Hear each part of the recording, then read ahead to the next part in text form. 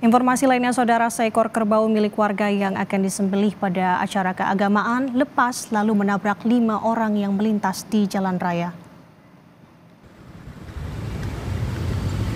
Waduh, ada, ada, ada. Hancur.